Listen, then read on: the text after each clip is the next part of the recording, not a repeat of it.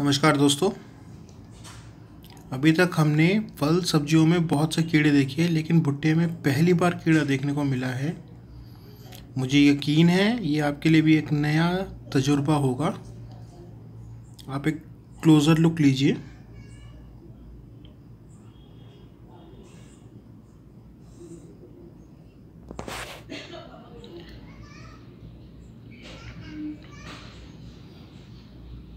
ये इसके छिलके हैं।